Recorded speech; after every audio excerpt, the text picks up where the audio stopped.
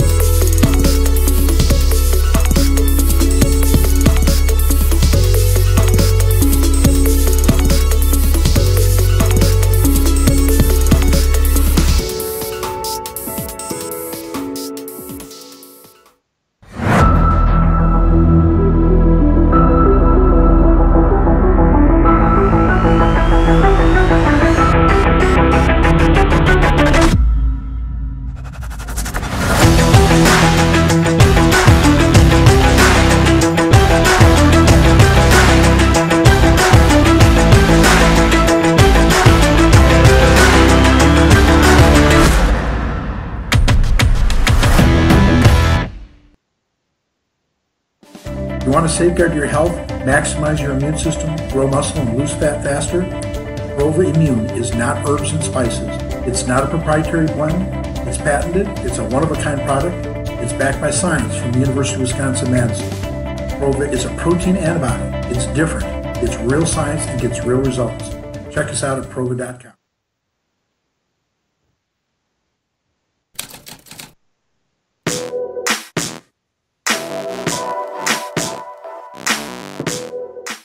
RX Television on RxMuscle.com. This is Ask Dave, better known as hashtag Ask Dave, your 30 minute question and answer show with Dave Palumbo. I'm your host, Sadiq Faruqi.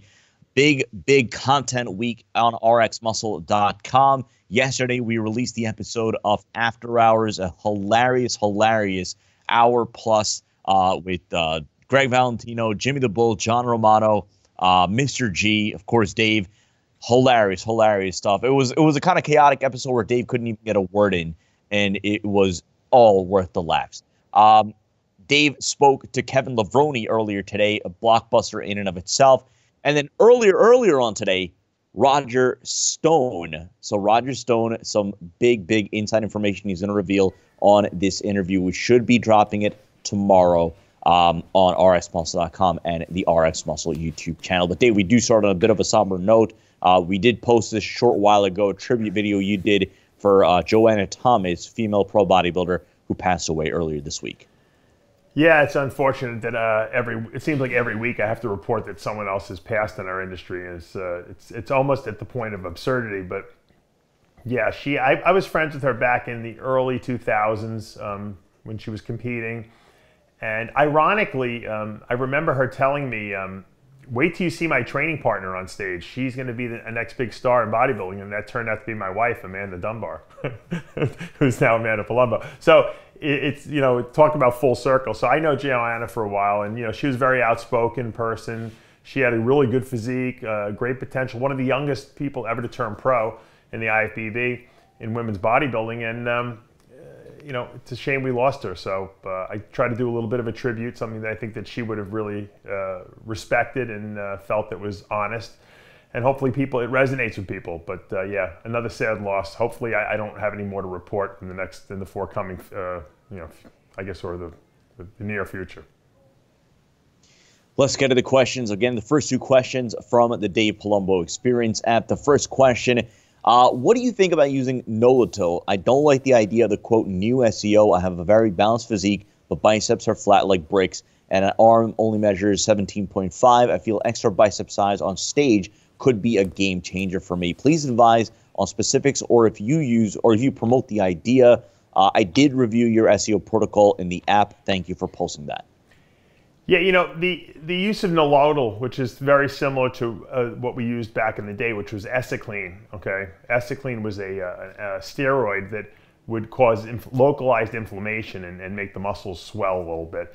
The problem is that it only really worked good with people who had really good genetics for arms.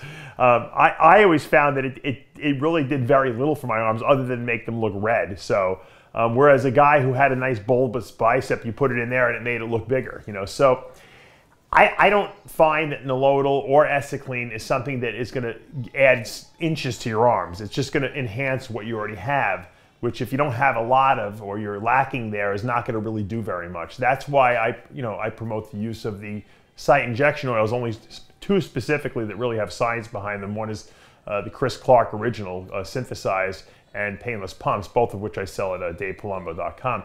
Those, those actually have science behind them in terms of uh, not only volumizing the muscle, but building new tissue over the long period of time. So the longer you use them, the more of a positive a partitioning effect you get on the muscle, and you actually will build muscle locally.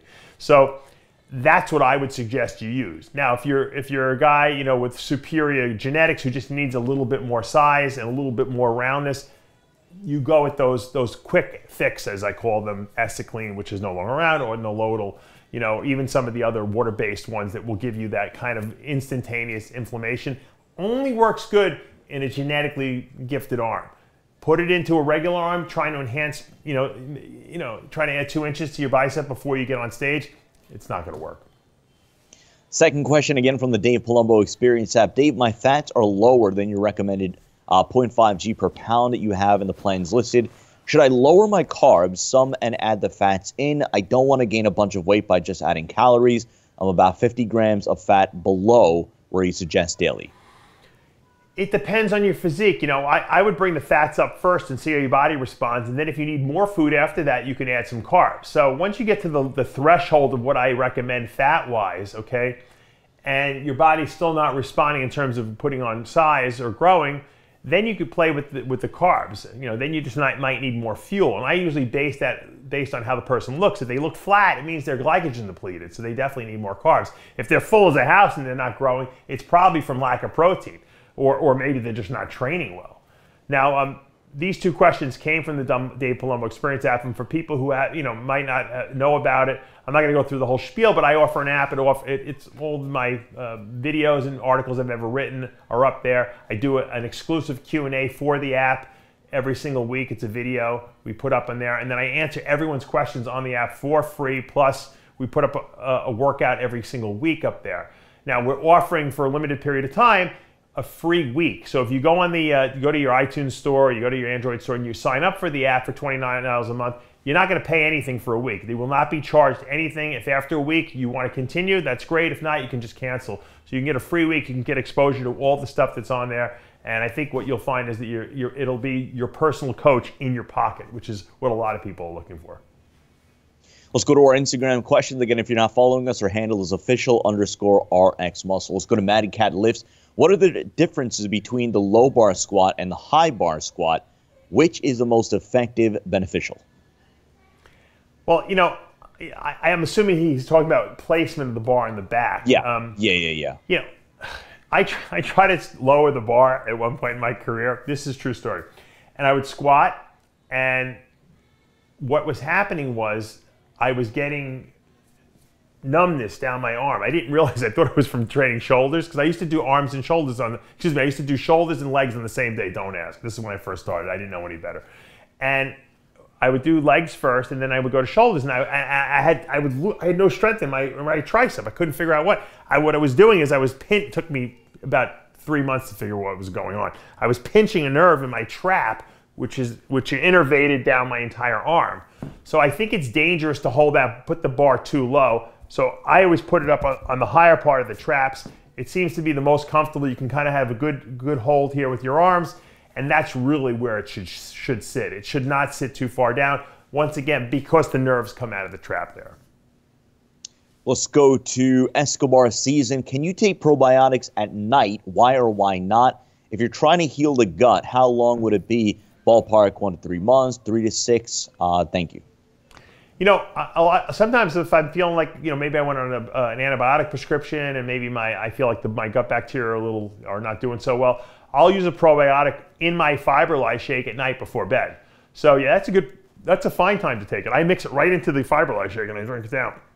Believe it or not, the soluble fiber is actually the food that, that these probiotics eat. They ferment it, and that's what helps them to grow. So you're actually feeding the gut bacteria with the fiberlyzed product that you're taking at the same time, kind of dual function, so that you can kind of seed your whole colonic uh, flora with that stuff. So, yeah, I mean, it doesn't matter really when you take it. You can take it in the morning, during the day. It, it doesn't matter. As long as it's getting into your gut, you're fine. You can take it with food, without food.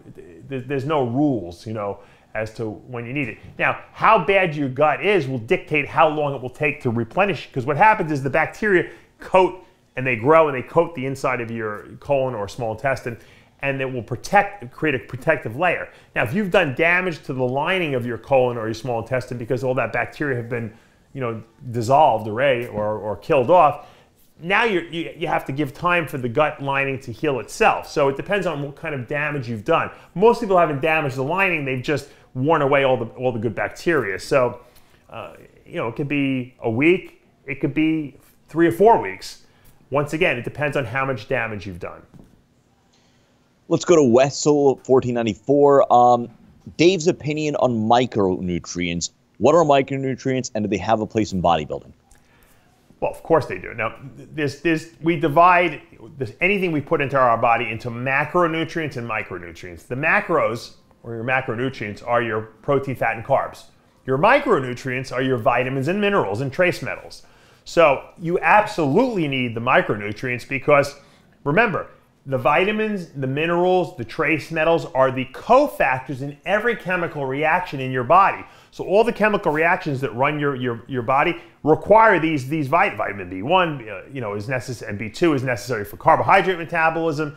You know, there are different uh, chromium necessary for, for, for, for um, glucose entry into the cell, you know, when insulin is present.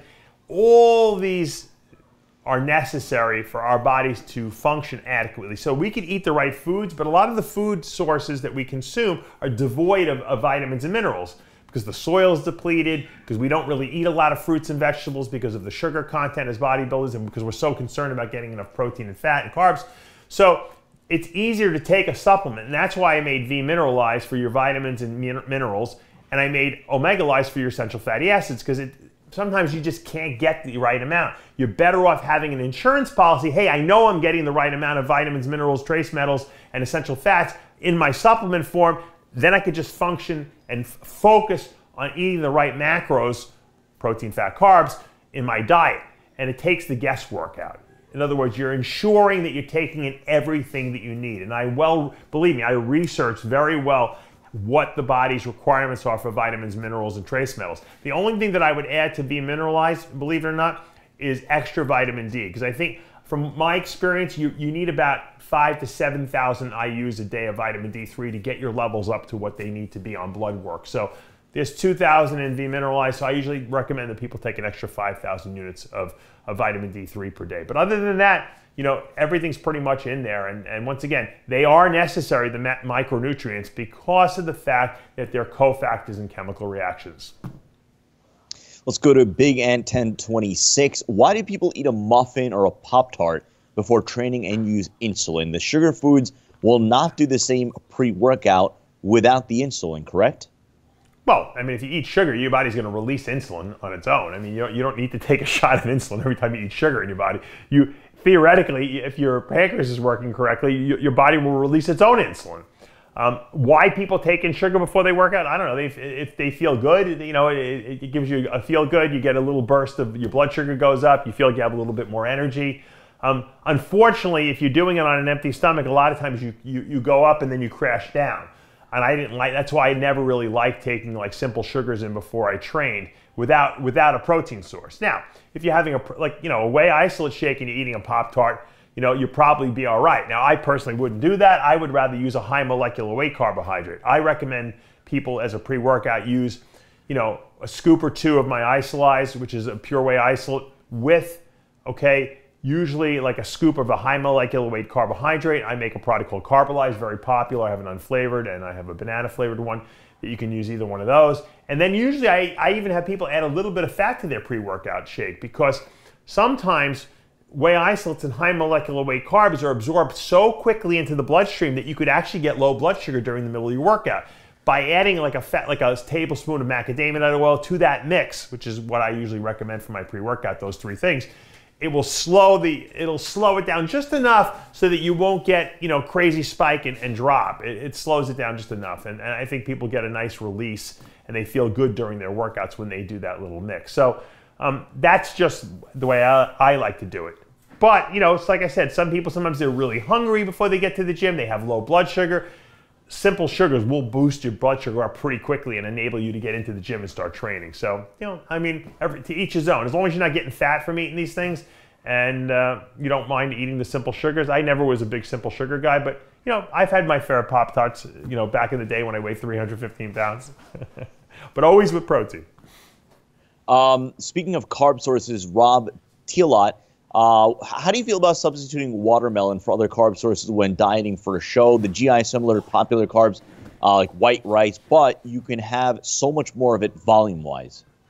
Yeah, you know, once you start trying to play that volumizing game, you're like, oh, I'll eat, you know, uh, 16 pounds of cabbage because it has no calories all you're doing is stretching out your stomach and it's you're always your body's going to always be expecting large volumes of, of food to keep yourself satiated. When you don't eat large volumes of food your stomach actually shrinks in size and then you don't eat as much food to actually feel full. So it's actually functional to have smaller volumes of food while you're dieting that are denser in calories you know? I think that's a better way to go. Plus watermelon is simple sugars you know?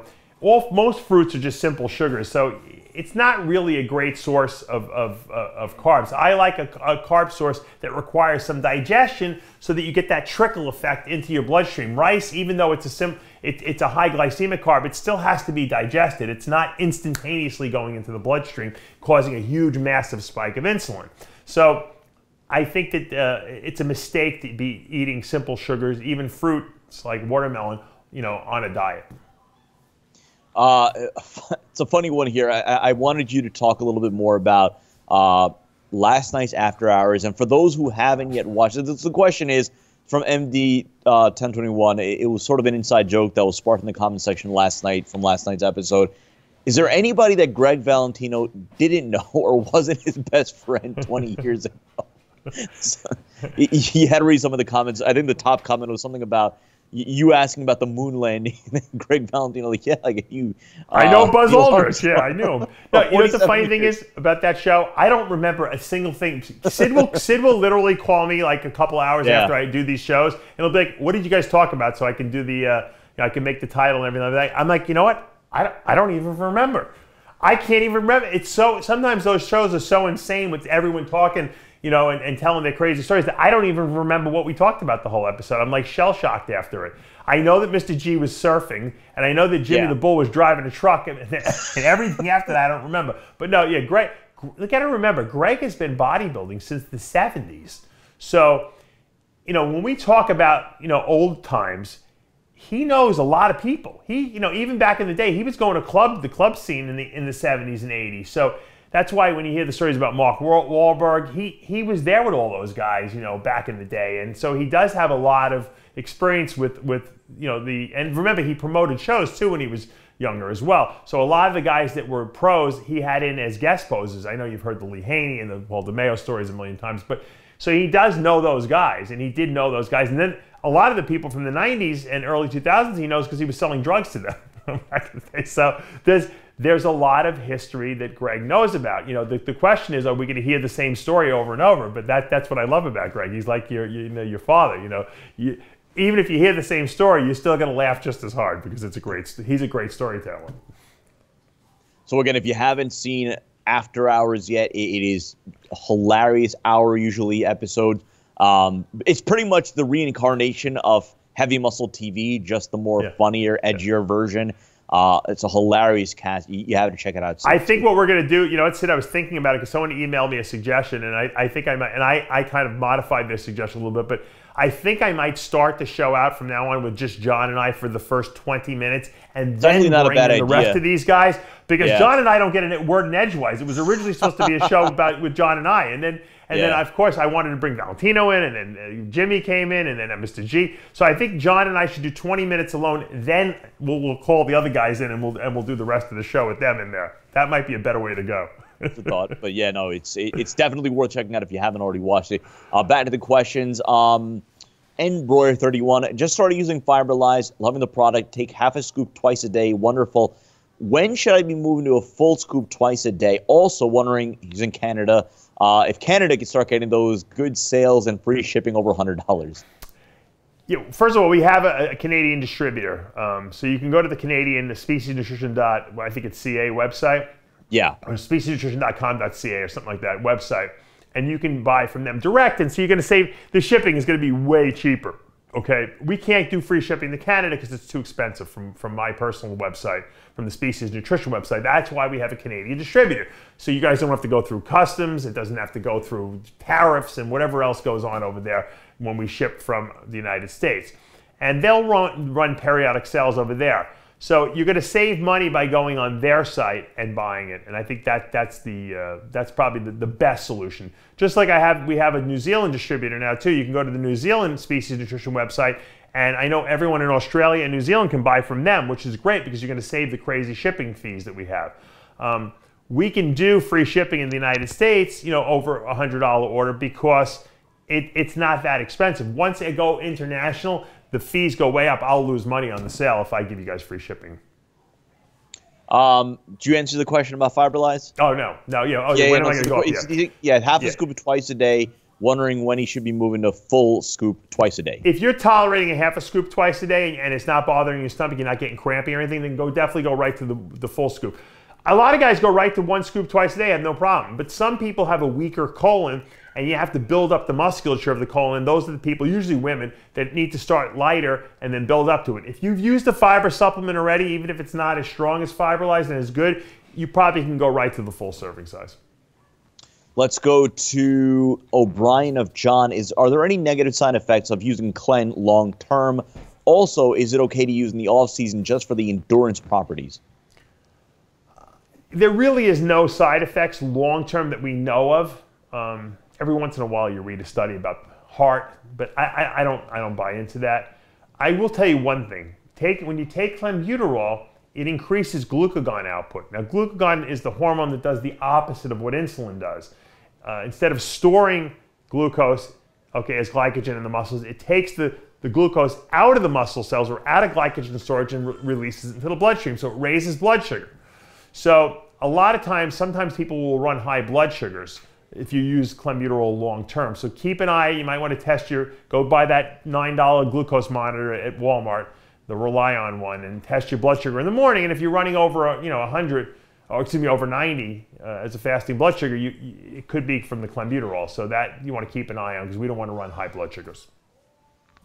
Let's go to Stumpy Macbeth. Love the name. I'm in my late 30s. I want to get on TRT. How can I make sure my levels are low enough to get on? Well, I mean, if you if, you, if you're low by nature, then that's that's that's one thing. If you're not low and you want to get on TRT, a lot of times if you're in the lower end, they'll still put you on TRT, even though you might not be um, according to the um, the ranges below the normal, so to speak. Uh, no one says you have to be below 250 to get TRT. You could be three, 400. That's still low normal, and you might want to just raise that up. So that you got to talk to. If you go to TitanMedicalCenter.com and you contact them and you tell them that we sent you, obviously you're to get the RX Muscle discount. They can advise you better.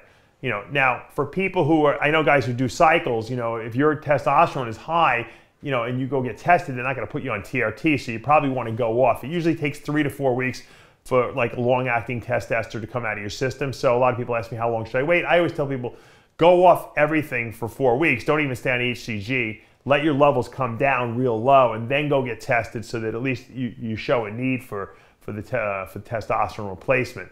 Uh, if you go in, you know, a week or two after you, you, stop your cycle, your levels will probably still be high. That legally, they can't prescribe it to you if that's the case. Let's go to Martin Slake's Fitness. How would you suggest to do if there is a six to week, six to eight weeks between competitions? How about a few weeks add a bit of size and then die into the next show rest of the time? Yeah, I mean that's what I would. I would give. I give the person two weeks to eat. Um, I would dramatically probably increase their carbs, uh, cut back their cardio and fat burners. You know, kind of de-peak them and then re-peak them again for the last you know five to six weeks.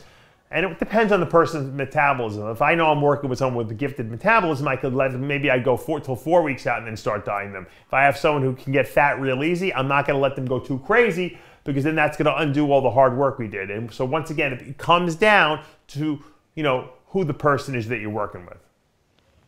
Let's go to. Uh, I'm going to say this one towards the end because people love these kind of questions. Um, Here's an interesting one, and I know a lot of people are going to hear this question and say, "Well, you guys are one to talk," but I do want you to get elaborate a little bit upon, um, you know, obviously what stemmed with Generation Iron uh, last week airing the Priest's mother, um, and then I guess this back and forth that has gone on for a few years now between sure. some of the media outlets from Vigar S91. Do you think that there is too much, too many media outlets for bodybuilding that are promoting dispute rather than focusing on making the actual sport better? you know, it, there's always dis- dispute is good for business, for everyone's business, because it, it sparks a little controversy. Look, all the newspapers used to compete with each other. The Weider magazines competed with MD back in the day when when the magazines were relevant. So there's always going to be a little bit back and forth. I don't have a problem with Generation Iron whatsoever. Um, I, I, I, get along with Vlad. I've actually been to his offices in Manhattan, you know, several years back when the original Generation Iron movie came out. No problem with them whatsoever. I think they're doing good work. I, I think the documentaries they make over there are mostly good. Um, I know Lee Priest had took, you know, was told that his documentary that they made with him, that they paid him a lot of money for, they paid him seven thousand dollars. He even admitted that. Um, was he was going to have the right to first refusal in terms of before they went to the final edit, he'd be able to get to see the, the thing, and if he didn't like it, they would make changes. That was in his contract supposedly, and he felt that they left out a lot of the people who really knew him and they put in like Jay Cutler, uh, who didn't know him very well, as instead of putting in the, the people that Lee grew up with. And so Lee was upset with that, and they didn't want to re-edit it for whatever reason. I don't know why. And so it, it created an animosity there, and Lee didn't like the, the final product and didn't promote it. Now, I just my point that I made was that I felt that it was it was a foolish business move for Generation Iron because what they should have said is, "Hey, Lee Priest is, is the most marketable guy in our industry. He always has been. You want this guy getting behind your documentary because they're, they're charging to download the documentary. So if Lee is out there telling everyone how great the thing is, they're gonna people are gonna go download and watch it. If Lee says it sucks, it's gonna hurt business for them. So I don't know why they didn't re-edit or, or work with Lee to make Lee happy on the documentary, on the final product, but they didn't. So Lee went off, you know, on them, on on his the typical Iron Rage show that we do every week. They got offended. They went back into their into their I guess whatever uh, footage that they had taken for the documentary originally, originally, one of which was an interview with his mom, uh, where she talked about where Lee was bullied as a kid, and they put that in there and they titled it "Why Lee Priest is a Bully." His mother tells why, or something like that. And the funny thing is that the mother never even said that Lee was a bully. He said that she said that he was bullied. Kids made fun of him because his father was gay, and they knew that. She never said Lee was a bully. So they kind of misquoted her in the title, and they used her almost as a way to like kind of you know give Lee the the finger on the way back to kind of say, "Ha, we got you back."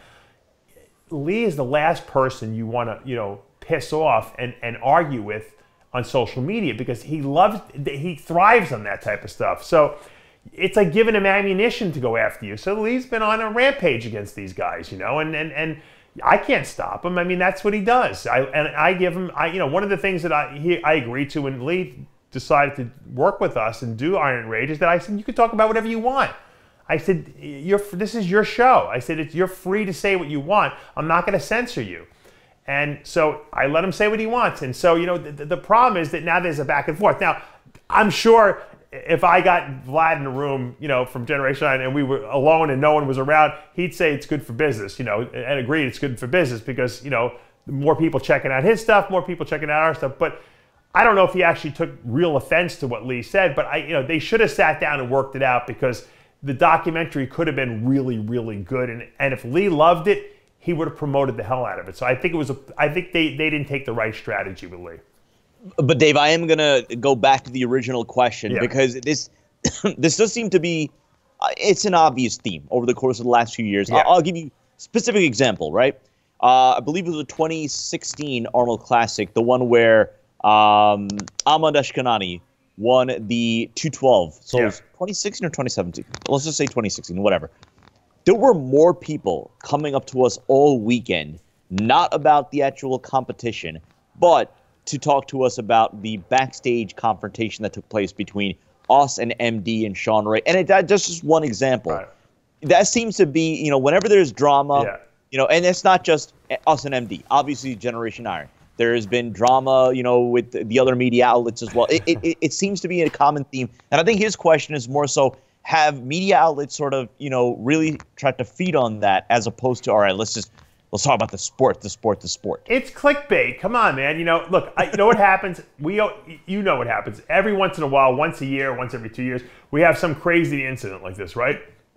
and I go nuts because if I see injustice anywhere, you know, or I think we're being, you know, treated, mistreated, I'll go crazy and I'll and I'll go off on a tangent and I'll start exposing, you know, what's going on. And that, you know, in, in that sense, I'm like Lee.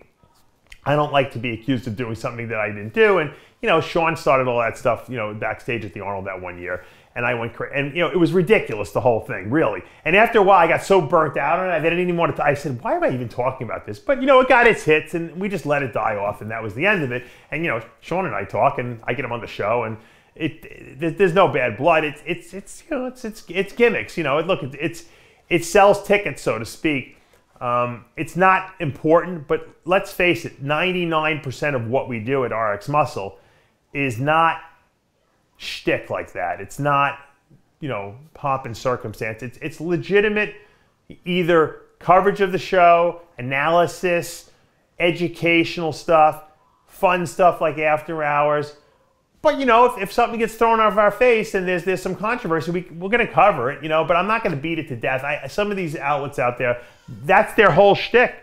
Their whole YouTube channel is basically exposing and going after other outlets as to not being authentic. Uh, luckily, very few people can accuse us of not being authentic because we're, we're, maybe too authentic, you know, for our own good. Um, is it good for business? Of course, it's good for business. Is it a negative type of thing? If it's constantly done, yes. I think if you pepper it into your coverage, I don't think it's such a bad thing. Let's go to Brian Lack 357. I'm sure this has been asked before. Uh, periodically, you'll answer it, but people love to hear about these stories craziest cheat meal you've ever had during your career? Um, it, you know, it's not going to sound as glamorous as people think, um, but it was probably the most disgust. Like I had gone to, and I've told this story before. I had gone to help a girl who won the Junior USA bodybuilding uh, overall, uh, Donna Restivo at the time, in uh, Myrtle Beach. In Myrtle Beach, if you, if you guys have ever gone there, Myrtle Beach, it's basically a buffet town. And I was dieting for the USA in 1996 at the time, and I said, I am not going to cheat. We would go into all these buffets and eating, and I was just eating like my diet food. I said, when I get back, because I used to save my cheat meal for the weekend, I would go to this all you can eat sushi place in Manhattan, because it was the only place that had an all you can eat sushi place at the time. And I just looked forward to it. That was my cheat meal every week. Well, when I got back from the show on Sunday, I got in my car from Long Island. We drove to the, um, the city I went to my all you can eat sushi place and I was so hungry from starving myself all weekend and it was a busy weekend and it just I, I and from seeing those buffets I ate so much sushi. Literally, I must have eaten 150 pieces. That it was I, it, literally I don't think I could have gotten another piece down my throat because it was like it was I think the last roll was still sticking out of my throat. That's how full I was. I couldn't get into the car. That's how full my stomach was. I had to walk around the block about three times and I literally, if I would have leaned over, I would have thrown up. I would have thrown up. That that's how full I was. It was it was. I was so mad that I overate so much that on the way home from New York City to Long Island, my sister was living in Queens at the time, which was like halfway point. I stopped at her apartment because I had I had I had bought a, a life cycle and then I'd given it to her when she moved out because she really needed it, and I, I wasn't really doing cardio at the time, so I gave it to her. I stopped at her place and I rode the bike in her place that I was so nauseated by what I did for, for, for like 45 minutes before I finished driving all the way home. That's how full it was. That was the most disgusting the cheat meal I ever had. And once again, it wasn't like McDonald's and, and shakes and, and all the glamorous foods you would think. But I, I seriously, the volume of food that I ate, I don't think any other human being could have consumed. It was so much. You probably could have mounted it. Probably if you would have stacked the rolls up, it probably would have come up to here. That's how much food I ate. And finally, last question from 2RI Profit. And another one we probably answered before, but who had the most aesthetic physique of all time, the body that every woman wants to be with and every man wants to have? I don't know. You know, we think as bodybuilders that women like big, huge, muscular guys, but I, I, don't really think that's the case. I think bodybuilding, or people who work out might like that, but the general population probably thinks we're all disgusting. But um, as far as the, I think the, some of the greatest symmetry of all time probably was Flex Wheeler. I mean, you know, let's let's face it, from a bodybuilding pure standpoint, I mean, the guy had a teeny tiny waist. He had big arms and shoulders and chest, good back. I mean, symmetrically speaking, I mean, I mean that's it. I always tell people, however, if I had to pick one physique that I would want to look like, like if I had to say, okay, you know what, this is the guy I want to look like, I would have picked Tony Freeman's physique, and I've said this before, and Tony knows I've told him this before, because he looked when he walks through the airport, he looks like an he looks like a professional athlete. So he and he has beauty. He has a teeny tiny waist. He's six foot two. He's he's got perfect V shape. I mean, they called him the X Man. I mean, the guy has all the tools, you know, you know that you would possibly want in a great physique. Uh, I think that you know he had a pec tear and that hurt him a little bit in his career. I still believe in 08 that he could have been, you know, first or second at the Mr. Olympia. That's the year Dexter Jackson won. I thought he was probably his best at, at, that time. But I love his physique. I think he has a beautiful physique because he's tall and he once again he looks athletic, like he could play any sport out there and be great at it. But probably from a bodybuilding standpoint, Flex Wheeler probably had the most beautiful physique of all time. And when he was at his best, when he won the USA and he won that first Arnold Classic, he was unbeatable. That's going to do for this episode. Reminder tomorrow on RX Muscle, we're going to have our interview one on one with Kevin Levrone. All sorts of different topics Dave and Kevin discussed. The Maryland Muscle Machine on RxMuscle.com. And then, of course, exclusive interview with Roger Stone. Roger Stone is going to reveal some never before told information on the interview. Both those interviews tomorrow on rxmuscle.com and, of course, the RX Muscle YouTube channel. Special thanks, Tyler Shaw, producer, and Dave Palumbo. I'm Sadiq Faruqi. We'll see you next time.